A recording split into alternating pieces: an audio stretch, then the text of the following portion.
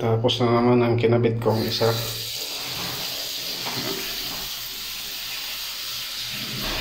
May ilaw pa to.